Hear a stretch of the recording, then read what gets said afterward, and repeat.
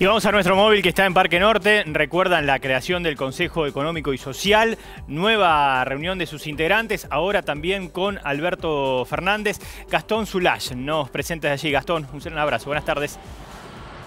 ¿Qué tal? Igualmente muy buenas tardes, Ariel. Así es, dos semanas después de su lanzamiento en el CCK se produjo la primera reunión de trabajo de este Consejo Económico y Social que encabeza el secretario de Asuntos Estratégicos de la Nación, Gustavo Belici, que está compuesto por 30 integrantes, integrantes del sindicalismo, de los empresarios, del ámbito académico y científico y también de la sociedad civil. Durante toda la jornada se reunieron al aire libre aquí en Parque Norte en cinco mesas eh, de trabajo que están compuestas fundamentalmente por seguridad alimentaria, educación y trabajo eh, del futuro, productividad con cohesión social, ecología y desarrollo sustentable y democracia innovadora. También estuvieron eh, presentes los ministros Daniel Arroyo, Roberto Salvareza, Nicolás eh, Trota y Matías El cierre estuvo a cargo del presidente de la Nación,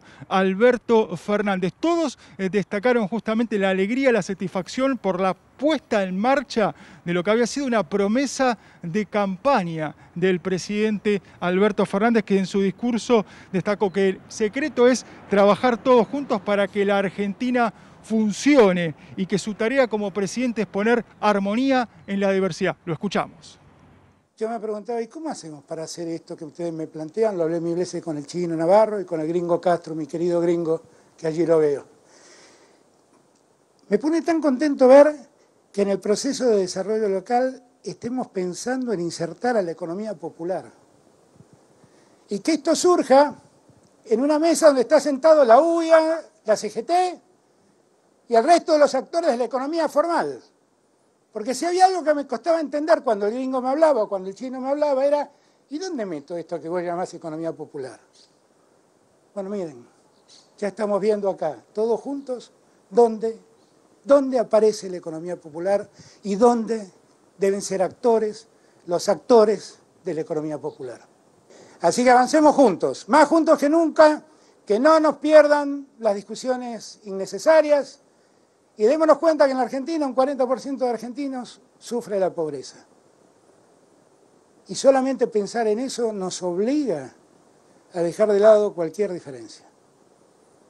Porque allí está nuestro deber, nuestro primer deber.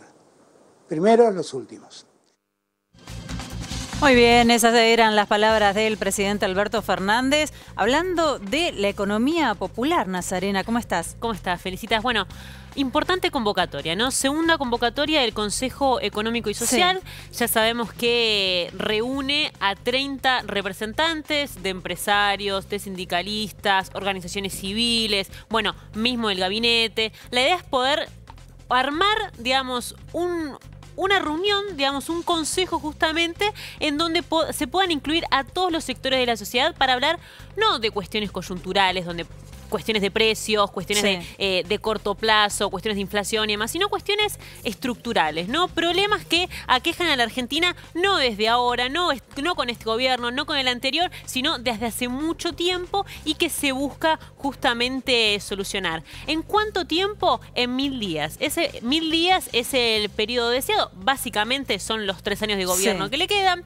Para eso se plantearon cinco ejes, que ahora los vamos a repasar porque en cada uno hubo una novedad y 25 estrategias. Entonces, eso, esa convocatoria que comenzó, que se inauguró en febrero, ahora tuvo su segunda reunión. Básicamente, los ejes tratados, mira, comenzamos por el principio, bien lo adelantaba Gastón Zulach, tiene que ver con la comunidad de cuidado y seguridad alimentaria, ¿no? Esto es lo que decía él, trabajar con cooperativas, descentralizar la economía. Por otro lado, tenemos educación y trabajo del futuro, muy importante. Sabemos que hay trabajos que a lo largo del tiempo van a quedar desactualizados, la tecnología los va a reemplazar, hay que ver cómo poder paliar eso justamente para no, Sí. pa- para no obtener pérdidas laborales. Por último, tío, la productividad con cohesión social, todo lo que tenga que ver también con plataformas digitales, tecnología 4.0, economía del conocimiento, software, importaciones, muy importante. Y por último, ecología integral, desarrollo sostenible y democracia innovadora. Todo lo que tenga que ver con obra pública y además medio ambiente